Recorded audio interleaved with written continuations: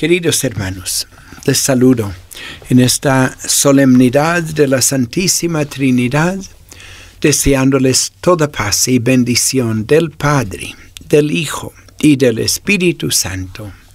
Alegrémonos por ese Dios amor, Dios familia, Dios que nos ama con amor de papá, amor de hermano, amor de amigo. La vida humana comienza con el amor de hijos, por el amor de mamá y papá, aún en el seno materno. Recibimos ese amor y si no existe, realmente es triste. Uno queda vacío, sin afecto, que planifica, que da cariño, que da alegría. Y cada papá y mamá deben amar a sus hijos desde el primer instante de estar en el seno materno. Y si no lo han hecho bien hasta el día de hoy, que pidan la gracia. Papito Dios, ayúdame a ser papá, mamá como tú, amando muy de veras, comprendiendo y perdonando como tú. Y así uno va reflejando la paternidad de Dios es bueno ser de una familia de varios hermanos, porque es como más comunidad y a la vez cada uno debe reconocer que todos somos hermanos y relacionarse con los demás con amistad, con apertura y querer fomentar ese sentido de ser una gran familia de Dios Padre en Cristo Jesús, el hermano mayor entre muchos hermanos. Alegrémonos por ser sus hermanitos y pensar como Él está siempre al lado, enseñándonos a vivir. Él está ahí con su cariño, su sabiduría, su protección como un hermano mayor. Afecta muchísimo la vida de sus hermanos menores. Y en este caso es un hermano perfecto. Nadie es perfecto excepto Dios. Y Cristo es Dios hecho hombre y un hombre perfecto. Y Él está con nosotros, vivo, amoroso, iluminando y fortaleciéndonos para que hagamos el bien. Y también en la vida hay no solo amor de hijos, amor de hermanos, sino amistades. Ojalá sean siempre sanas y cada uno debe defenderse de malas juntas, donde Satanás reina y nos quiere ensuciar el alma y entristecernos, haciéndonos creer torpemente que Él nos va a hacer felices. Lo único que Satanás quiere es perdernos para siempre en el infierno y hacer también de este mundo un, un infierno de groserías, de división, de soberbia, de materialismo, de vicios esclavizantes, y que cada uno se defienda de él para ser una persona realmente digna y feliz, digno hijo de Dios. Y así gocémonos en ese amor del papito Dios que los padres deberían reflejar. Alegrémonos por el amor del hermano mayor entre muchos hermanos, como lo dice San Pablo, que es Cristo Jesús, que nos ama entrañablemente. Y gocémonos por el amigo divino, el Espíritu Santo, que nos quiere ayudar a vivir una vida realmente hermosa, santa y feliz. Escuchemos ahora el Evangelio para esta fiesta de la Santísima Trinidad. Mateo 28, 16 al 20. Después de la resurrección del Señor, los once discípulos fueron a Galilea, a la montaña donde Jesús los había citado.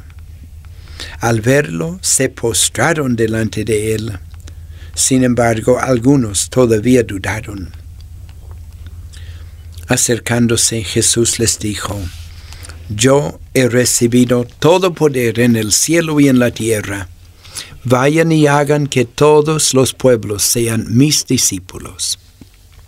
bautizándolos en el nombre del Padre, y del Hijo, y del Espíritu Santo, y enseñándoles a cumplir todo lo que yo les he mandado. Y yo estaré con ustedes todos los días hasta el fin del mundo. Es palabra del Señor. Gloria a ti, Señor, y bendito seas. Hermanos, que nos alegremos muy de veras por ser de la familia de Dios, por tener el destino maravilloso de llegar a gozar con Él en una forma inimaginable para siempre en el cielo. San Pablo dice, ojo no ha visto, oído no ha escuchado, ni siquiera ha entrado en el corazón o la imaginación del hombre lo que Dios tiene preparado para los que lo amen. Que nosotros amemos a Dios muy de veras, queriendo ser alegría para Él, obedeciendo lo que Cristo enseña, que es lo que enseña la iglesia, y que realmente nos gocemos en la vida por estar haciendo el bien, rechazando el mal, dejando que Dios nos dignifique cada vez más. Vivir en la Santísima Trinidad es vivir como hijos de Dios, evitando todo lo que desdice o desdiga de esta dignidad maravillosa. Uno que ama a Dios vive en Cristo, en su mentalidad, en sus enseñanzas imitando su forma de ser. Y uno vive en el Espíritu Santo, sabiendo, como dice San Pablo, son hijos de Dios los que se dejan guiar por el Espíritu de Dios.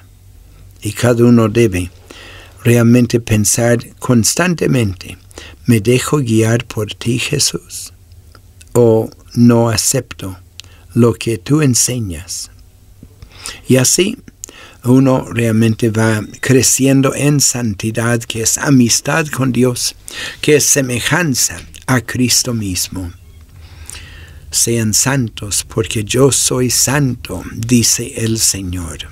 Y santo es lo que se asemeja a Dios, lo que agrada a Dios.